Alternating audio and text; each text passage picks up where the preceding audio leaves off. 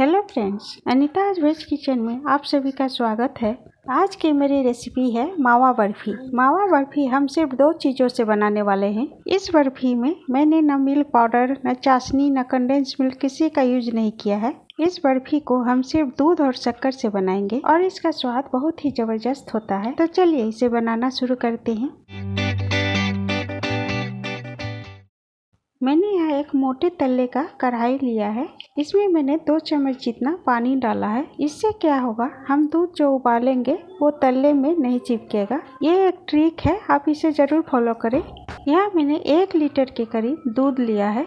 आप यहाँ कोई भी दूध ले सकते हैं। आपके घर में जो डेली का दूध आता है, वो ले सकते हैं, या फिर पैकेट वाला दूध भी ले सकते हैं।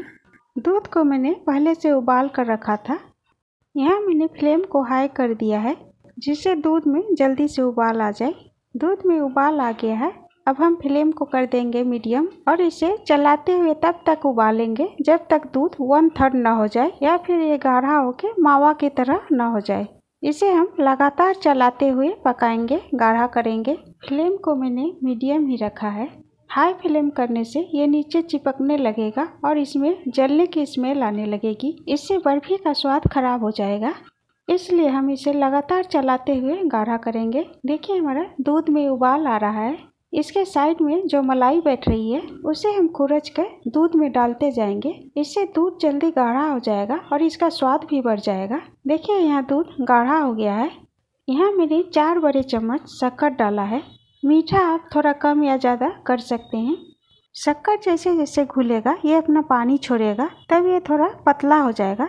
फिर आप टेंशन ना लें, इसे चलाते रहेंगे, तभी फिर से गाढ़ा हो जाएगा।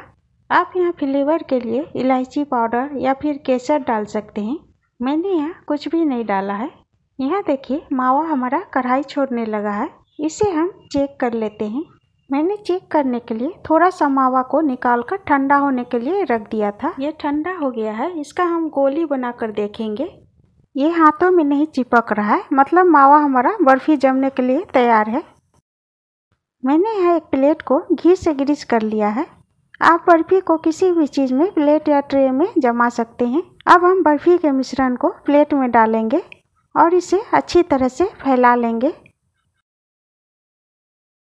देखिए, मैंने बर्फ़ी को अच्छी तरह फैला लिया है।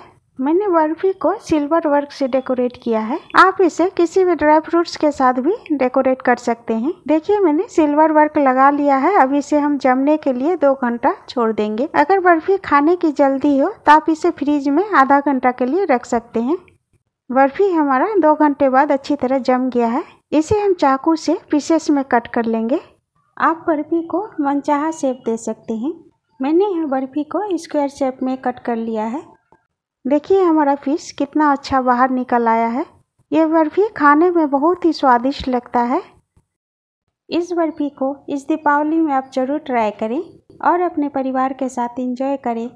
और आपको हमारी आज की वीडियो कैसी लगी, हमें कमेंट करके ज़रूर बताएँ। वीडियो पसंद आए तो इसे लाइक और शेयर करें और हमारे चैनल को सब्सक्राइब भी कर लें। साथ ही बेल आइकन को प्रेस करें ताकि हमारी हर वीडियो सबसे पहले आप तक पहुँच सके। तो मिलते हैं अगले वीडियो में। एक नई रेसिपी के साथ happy Deepawali friends thank you